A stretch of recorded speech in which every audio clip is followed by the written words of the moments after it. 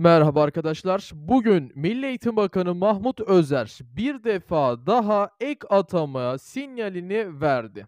Ayrıntılara geçmeden önce abone olup lütfen videoyu beğenmeyi unutmayınız ki tüm gelişmelerden haberdar olasınız. Hadi hemen videomuza geçelim. Milli Eğitim Bakanı Mahmut Özer bugün yine ek atama ile ilgili sinyali verdi. Artık geliyor arkadaşlar. İnşallah geliyor. Yani Düşünceler bu şekilde ki açıklamalar da bu yönde.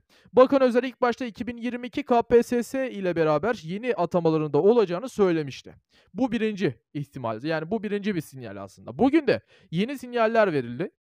Milli Eğitim Bakanı Mahmut Özer bugün A Haber'de canlı yayında konuk oldu ve şöyle açıklamalarda bulundu. Sadece rehber öğretmeni ile ilgili gelen talepler var. Bizim tüm okullara rehber öğretmeni ile alakalı ifademiz farklı şekilde değerlendirildi. Onun bir açıklamasını yapmam lazım. Biz şu anda norm bulunan tüm okullarımıza rehber öğretmen normu bulunan tüm okullarımızda rehber öğretmen atamasını gerçekleştirdik. Normla ilgili yeni düzenleme yapıyoruz dedi. Mesela ilkokullarda 300'den fazla öğrenci olduğu zaman rehber öğretmeni normu oluşturuyor. Onları düşürüp mümkün olduğunca rehber öğretmen sayısını arttırma ve çocuklarımıza destek olma ile ilgili de çalışmaları inşallah bu hafta içerisinde nihayetlendireceğiz dedi. Yani bu hafta içerisinde atama ile ilgili e, bazı güzel haberler haberler gelebilir.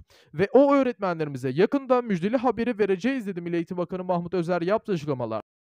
Bu hafta içerisinde inşallah güzel bir müjdeli haber gelecek. Veya şunu söyleyelim artık ek atama olma ihtimalleri çok daha arttı. Ek atama sinyalleri Milli Eğitim Bakanlığı'ndan da Bakan Özer'den de verilmeye başlandı. O yüzden artık öğretmenlerimiz tabii ki ders çalışmaya devam etsin. Ama içindeki ümitlerde tabii ki daha da fazlalaşıyor öğretmenlerimiz. İnşallah güzel haberlerle sizlerin karşınızda olmaya devam edeceğiz. Bizlere destek olmaya devam edin.